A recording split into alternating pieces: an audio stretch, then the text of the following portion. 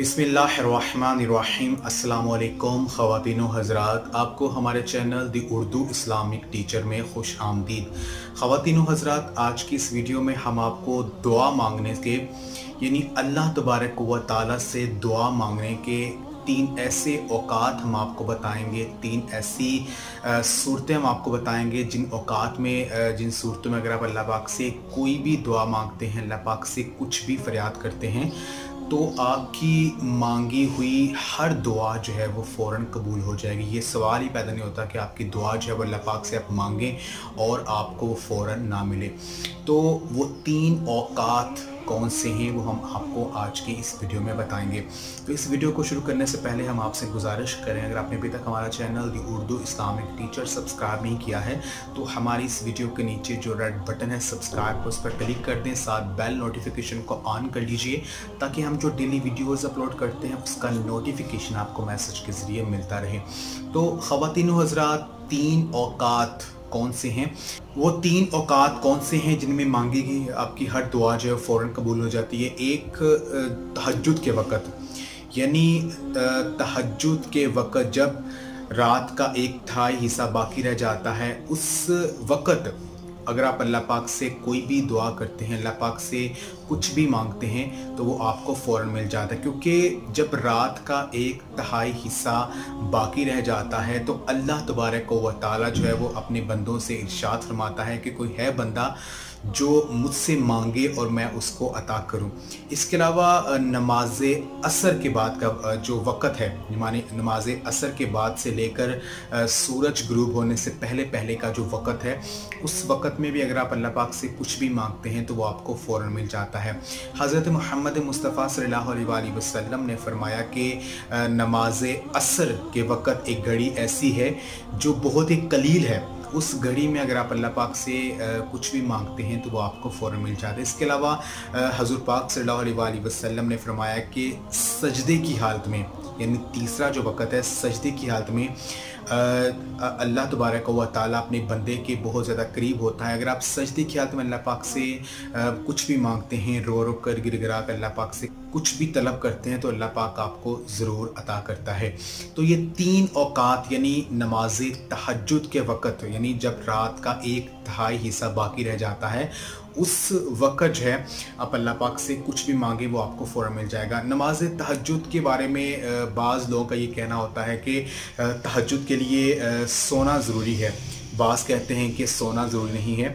تو نماز تحجد کے لیے سونا جو ہے وہ ضروری ہے، چاہے آپ ایک منٹ سو لیں، لیکن سونا ہے جو ہے وہ آپ کے لیے ضروری ہے۔ تو جیسے پانچوں جو اوقات ہیں نماز کے، جس طرح وہ ایک طے شدہ وقت پر ہم نماز ادا کرتے ہیں، ویسے ہی جو تحجد پڑھنے کا جو اوقات ہے، جو طریقہ ہے، وہ بھی ایک طے شدہ ہے۔ تو تحجد کے جو نوافل ہیں، آپ دو رکت نماز دو نوافل بھی پڑھ سکتے ہیں، چار بھی پڑھ سکتے ہیں۔ جتنے آپ پڑھنا چاہیں وہ آپ پڑھ سکتے ہیں۔ اس کے علاوہ خواتین و حضرات ایک یہ کام کیا کریں کہ جب بھی آپ اللہ پاک سے دعا کریں، اللہ پاک سے کچھ بھی جب آپ مانگیں، تو دعا مانگنے کا طریقہ یہ ہے کہ پہلے درود پاک جو ہے، جو بھی آپ کو آتا ہے، وہ پندرہ منٹ، بیس منٹ جتنا بھی آپ جتنی دیر آپ پڑھنا چاہیں، آپ پہلے درود پاک جو ہے، وہ آپ پڑھ لیں۔ تو درود پاک کا جو ثواب ہے، حضرت محمد مصطفیٰ صلی اللہ علیہ وآلہ وسلم کو پیش کریں اور اللہ پاک سے حضور پاک صلی اللہ علیہ وآلہ وسلم کا وسیلہ دیتے ہوئے آپ صلی اللہ علیہ وآلہ وسلم کا واسطہ دیتے ہوئے اللہ پاک سے دعا کریں اور جو بھی اللہ پاک سے آپ مانگ رہے ہیں، اس کا تصور جو ہے وہ آپ کے ذہن میں ہونا چاہیے۔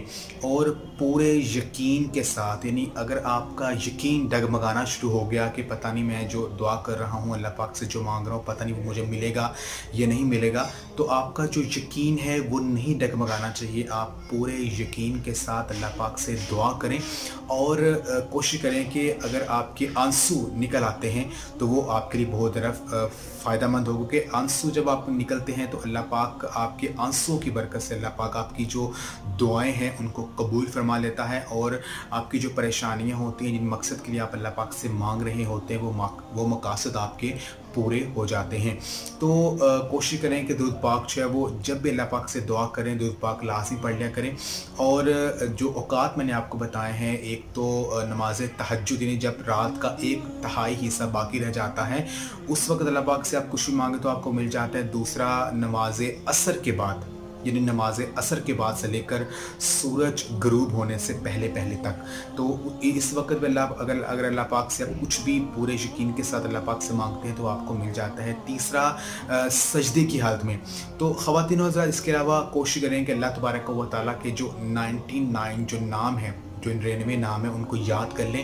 کیونکہ حضور پاک صلی اللہ علیہ وسلم کا فرمان ہے کہ جو بندہ اللہ پاک کے نائنٹی نائن نام جو ہے وہ زبانی یاد کر لیتے، ان کو حفظ کر لیتا ہے، تو وہ جو آدمی ہے اس جنت میں ضرور داخل ہوگا۔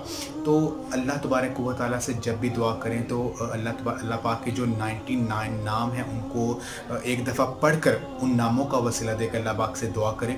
تو انشاءاللہ تعالیٰ آپ کی جو دعا ہے وہ رد نہیں جائے گی، آپ کی دعا ضرور فوراً قبول ہو جائے گی۔ تو خواتین حضرت، اگر آپ کو ہماری یہ آج کی ویڈیو پسند آئی ہے، ہماری ویڈیو کو لائک ضرور کریں اور ہمارے ویڈیو کو صدقہ جاریہ سمجھ کر لازمی شیئر کریں۔ جزاک اللہ۔